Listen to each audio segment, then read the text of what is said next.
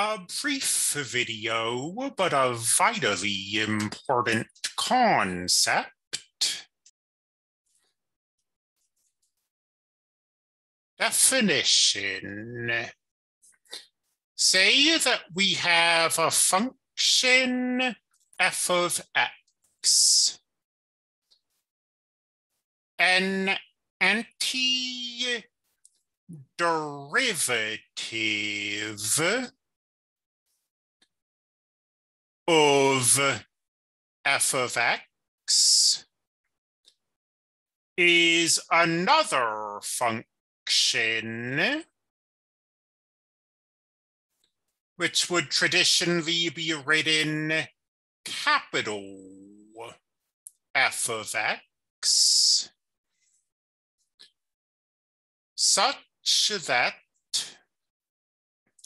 the derivative of capital F of x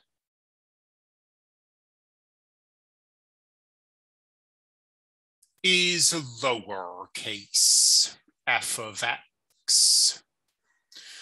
We are going to spend um, basically the rest of this semester and then half of calculus two talking about antiderivatives although we're going to give them an alternative name fairly soon. For now, let's just look at an example or two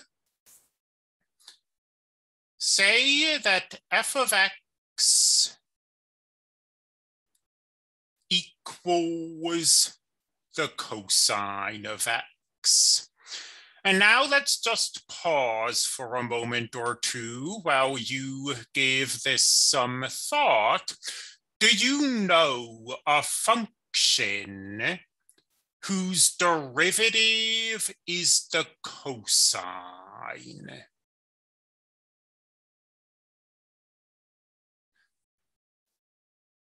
What I hope you came up with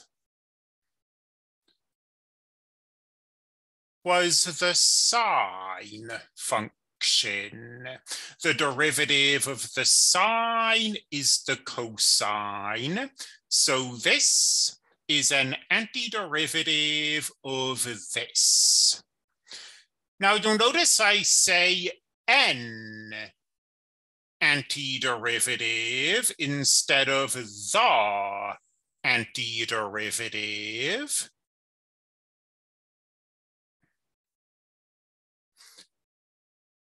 The sine of x plus 2 also has the cosine as a derivative. The sine turns to the cosine, the 2 turns to zero. So antiderivatives aren't unique. However, let's restate a theorem. We first mentioned this when we were talking about the mean value theorem. If f sub 1 of x and f sub 2 of x are both antiderivatives of the same function function f of x, then one of these functions is just the other function plus a number plus a constant. You'll see that up here. are two antiderivatives for the sine of x and the sine of x plus 2.